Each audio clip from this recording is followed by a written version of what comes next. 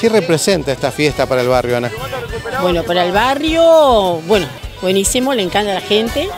Este, bueno, algo que se hace una vez al año, pero está perfecto. ¿Qué tiene Estación Atlántida de especial?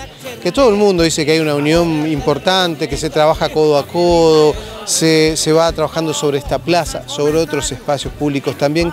¿Cuál es el secreto, digamos? La unión de los vecinos eh, para que esto se mantenga y bueno, y que siempre se siga así, ¿no? Contame, ¿se vende mucho? Te vemos ahí estás permanentemente. ¿Qué, qué estás, qué estás ofreciendo vos hoy? Nosotros ahora tenemos pancho, tenemos tortas fritas, tenemos bolas de fraile, pizza.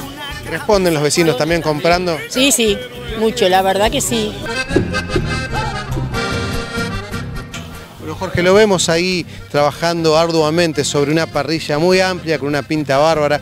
Cuénteme cuánta carne tenemos ahí arriba. Y acá arriba aproximadamente podremos tener 60, 70 kilos, pero eh, en el día va a ser 280 kilos de, de- de- de carne, de asado, y más o menos de chorizo 220, más o menos. No es changa esto, acá hay una temperatura importante. ¿Cuál es el secreto para que bueno, uno pueda sacar estas porciones bien? ¿no? Porque estamos hablando para mucha El gente. ¿no? secreto de todo esto es ser solidario, llevarlo con el corazón adentro, lo que uno está haciendo acá, y bueno, después eh, son cosas de la vida que uno tiene que brindarle a la gente.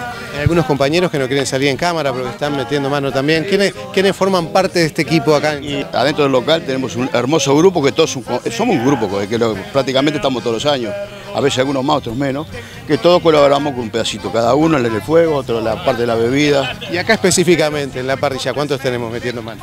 Y acá tres. Estamos acá con el señor amigo Chinito, tenemos el Paulino el Gaucho, Gaucho un- eh, que nos da una, una buena, una buena fuerza.